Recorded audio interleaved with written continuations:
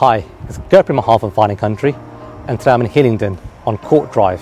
Today's listing has been with the current vendor's family for over 50 years. The property is a four bedroom detached house with three and a half bathrooms and a fantastic south facing garden. It has the added benefit of a self contained annex. This is a great home waiting for the right family. Come, let's take a closer look.